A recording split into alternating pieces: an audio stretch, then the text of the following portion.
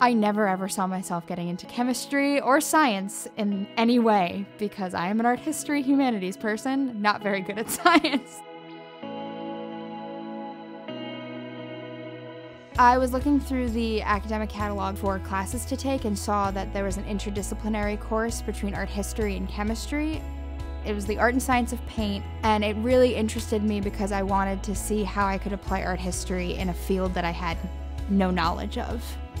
The students that take this course are not typically students that are focused on science, and some of them come in with some apprehension about the science. I believe that being able to apply my knowledge in fields that I'm not comfortable with, in this case chemistry, allows me to be a better world learner, a better worker, because I can communicate and share and understand ideas in these interdisciplinary settings. And the real world is not just you are an art history major and you're only going to work with art historians for the rest of your life. You're going to work in teams. And so that kind of breadth and depth that Union gives me allows me to be prepared to work in those teams and be comfortable in those settings.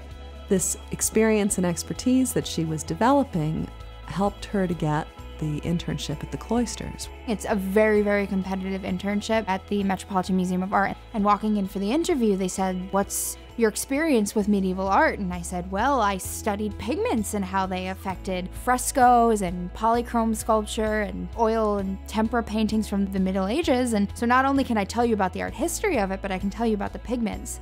And they were very surprised. To see a student take a course and come out of that with a passion for particular information that they learned in the course and looking at ways to apply that information to other courses they've taken, that's very exciting you're going to come to Union and there's no way you're going to be able to do just one thing. The way that Union is, and I think the beauty of Union, is that we are innately interdisciplinary. It's unavoidable in a sense, and I think that's the greatest part because that's what makes interesting research and interesting projects.